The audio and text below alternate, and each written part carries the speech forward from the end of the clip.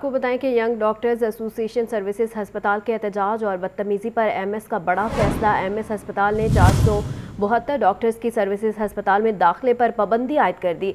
जराए के मुताबिक तमाम प्रोफेसर को गैर कानूनी काम करने वाले ट्रेनी डॉक्टर्स को फारिग करने की हिदायत और कल से तमाम गैर कानूनी ट्रेनी डॉक्टर्स सर्विसेज़ अस्पताल में दाखिल नहीं हो सकेंगे। M S doctor Munir Malik का कहना था कि इन डॉक्टर्स को किसने अस्पताल में काम करने की इजाज़त दी है? इंक्वायरी की जाए। मजीद तफसीत क्या हैं? जानते हैं सजाद हुसैन से। जी सजाद। जी, बिल्कुल। आज सुबह जो है वो लाहौर जन लाहौर सर्विस अस्पताल के एमएस ऑफ़िस के बाहर जो है वो यंग डॉक्टर एसोसिएशन की तरफ़ से जो है एहतजाज किया गया और एहतजाज करते हुए सर्विस अस्पताल के एमएस के दफ्तर का ना सिर्फ़ गिराव किया गया, बल्कि एमएस की अंदर ऑफ़िस में दाखिल होके, उनकी सीट पर के साथ खड़े होके नारेबाजी की गई। इस हवाले से जो इवनिंग के वक्त में एमएस की जो है, वो कोई खास रद्दमल सामने नहीं आया, लेकिन अचानक एक फेक नोटिफिकेशन सामने आया, जिसमें महकमा स्पेशलाइज्ड हेल्थ केयर की तरफ़ से एमएस को फारिग करने का नोटिफिकेशन था। जब उसको कंफर्म किया गया तो पता चला कि ये नोटिफिकेशन फेक है एमएस को महकमा की तरफ़ से फारिग नहीं किया गया। इस सारी सूरत हाल के पेश नज़र एमएस की जानब से एक अचानक शाम के वक्त जो है, वो नोटिफिकेशन सामने आया, जिसमें लिखा गया है कि पीजीआर और हाउस जॉब करने वाले जो डॉक्टर हैं, उनकी जो एंट्री है मुकम्मल तौर पर बैन कर दी गई कर दी गई है। और ये वो हाउस जॉब और ट्रेनिंग डॉक्टर हैं, जो कि गैर कानूनी तरीके से अस्पताल के अंदर काम कर रहे थे।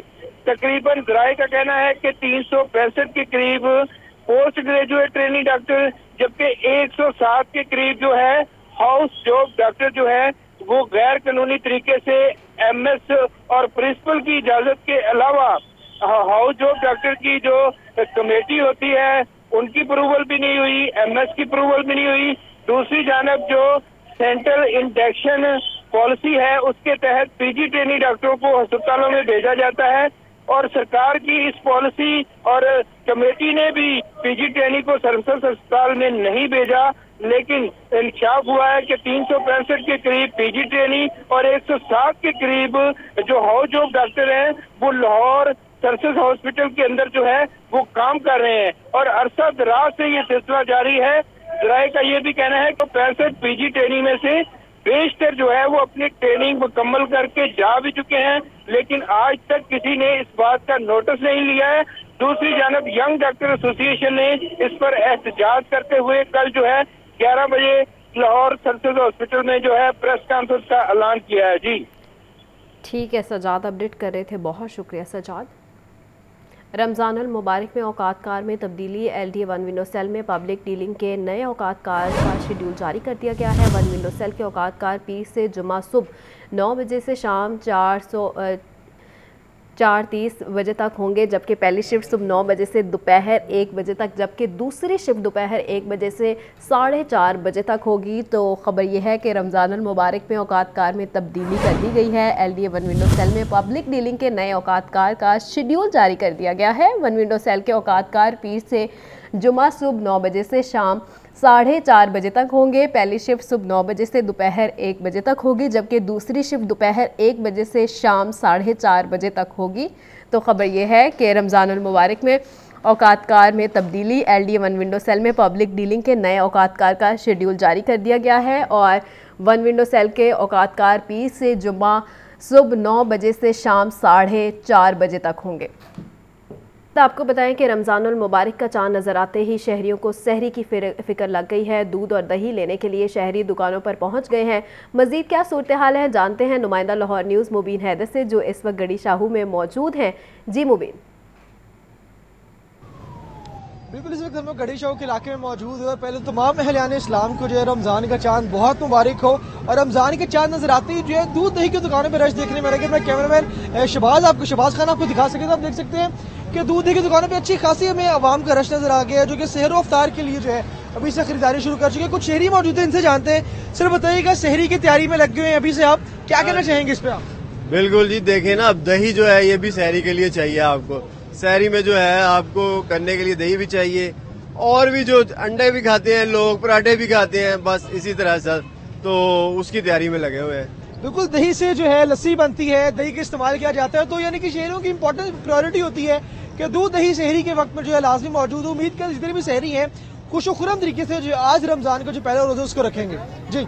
बहुत शुक्रिया मुबीन। कीमतों को कंट्रोल करने का हमारे पास कोई निज़ाम मौजूद नहीं। महँगाई को काबू करने के लिए इकदाम कर रहे हैं। वजी अला पंजाब मरियम नवाज़ की सहाफ़ियों से गुफ्तु कहती हैं पूरी दुनिया में कीमतें नीचे आती हैं लेकिन हमारे यहाँ बढ़ जाती हैं। मुनाफाखोरों के खिलाफ क्रैकडाउन कर रहे हैं। गवर्नेंस के शदीद मसाइल हैं। हल करने में वक्त लगेगा। जो भी ठीक काम करेगा उसका तबादला नहीं करेंगे। बस मैं ये कहूँगी कि ये चीज़ ये एक मैसेजिंग होती है जो आप खुद लीड बाय एग्जांपल बाकियों को भी फॉलो करना चाहिए। और पंक्चुअलिटी होनी चाहिए। कि जिसकी ज़रूरत होगी वो करेंगे। तो चीफ सेक्रेटरी साहब को आप कंटिन्यू कराएँगे या तब्दील करेंगे? जो कोई अगर सही काम कर रहा है मैं उसको क्यों तब्दील करूँ? मैडम कल से रमज़ान शुरू हो रहा है और लोग अभी भी ये कह रहे हैं कि महँगाई जो है वो ओपन मार्केट में काबू में नहीं आ रही सब्जियों की कीमत। हम उसको कर रहे हैं। रमज़ान का महीना आता है तो पूरी दुनिया में प्राइसेस नीचे जाती हैं। हमारे मुल्क में ऊपर जाती हैं। तो हम क्रैकडाउन भी कर रहे हैं ऑर्डर्स के ऊपर भी कर रहे हैं। और प्राइस कंट्रोल का अनफॉर्चुनेटली यहाँ पे कोई मैकेनिज़्म नहीं है। तो अभी जो है, उससे हमें गुजारा करना पड़ेगा, नया डिपार्टमेंट रेज करना पड़ेगा ताकि वो सिस्टम का हिस्सा बन जाए। तो बहुत सीरियस गवर्नेंस के फ्लॉज हैं, जो हमें पूरा करता करते टाइम लग जाएगा। लेकिन इसके ऊपर मैंने सी को कहा है कि वो रोज़ मीटिंग करे तमाम डिस्ट्रिक्ट के साथ। रेट लिस्ट लिस्ट की वायलेशन नहीं होनी चाहिए। बस हम ये लोग अब कर रहे हैं क्रैकडाउन भी कर रहे हैं, जुर्माने भी कर रहे हैं, गिरफ्तारियाँ भी कर रहे हैं। रमज़ानुल मुबारक में बकसरत इस्तेमाल होने वाली अशिया दूध और दही की कीमतों में पिछले साल की नस्बत इजाफा हो गया। मार्केट में दूध एक सौ अस्सी रुपये जबकि दही दो सौ बीस रुपये किलो फरोख्त होने लगी है। शहरीों ने हुकूमत से दही और दूध की कीमतों में कमी का मुतालबा कर दिया है। जैन अली की ये रिपोर्ट देखिए महँगाई है कि थमने का नाम ही नहीं ले रही। रमज़ान में ज़्यादा इस्तेमाल होने वाली अशिया दूध और दही की कीमतों में इजाफा कर दिया गया। मार्केट में दूध 160 की बजाय 180 रुपए और दही 200 रूपए की बजाय 220 रूपए फ़ी किलो फरोख्त होने लगा। पिछले साल की नस्बत इस साल दूध और दही की कीमतों में दस ऐसी बीस फ़ीसद इजाफा देखने में आया। दुकानदारों का कहना है की मार्केट में कुछ लोग अपनी मर्ज़ी के रेट आरोप ही दूध और दही बेचते हैं, जबकि शहरियों की जानब ऐसी हुकूमत ऐसी रमज़ान में दूध और दही की कीमतों में कमी का मुतालबा किया गया है। पिछले साल चल रहा था एक सौ साठ रूपए अभी जा रहा है सत्तर रूपए सौ रूपए पे जा रही है। कभी जो दाल लग रहा है लगा रहे हैं ये लोग इनको कोई साथ हुकूमत से यही अपील है कि रेट कम किया जाए दूध और दही का गरीब आदमी नहीं ले सकता। गरीब आदमी के पहुँच से दूर हो गया है। ये सब अपनी मनमानी करते हैं ये ज़्यादा रेट करते हैं ये रमज़ान में ज़्यादा इस्तेमाल होता है दूध दही। इन, इनको चाहिए रेट कम करें। हालात तो इस तरह के पूरे ही नहीं पकड़ती। दूध हम रमज़ान शरीफ में ज़्यादा इस्तेमाल करते हैं। ये दूध भी बड़ा महँगा शहरियों का कहना था कि रमज़ान मुबारक में दूध और दही का इस्तेमाल बकसरत होता है। हुकूमत को चाहिए इनकी कीमतों में कमी करके अवाम को रिलीफ दिया जाए। कैमरामैन फैसल रहमान के साथ जैन अली, लाहौर न्यूज़।